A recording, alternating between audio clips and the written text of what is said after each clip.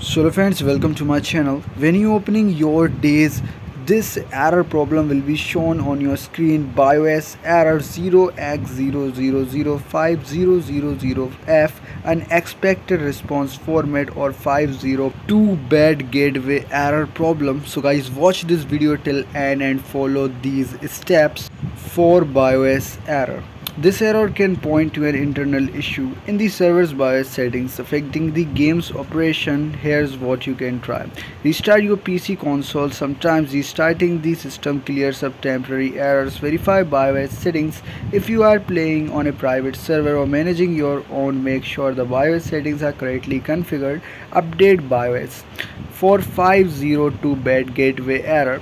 This error typically happens when the server is overloaded or there is a communication issue between servers. Here's how to approach it. Refresh the page. Sometimes the server may temporarily fail. Try refreshing the page to see if the issue persists. Clear your browser cache. Clear cookies and cache data from your browser or switch to a different browser. Try again later. Server issues are often due to high traffic Wait a while before attempting to reconnect.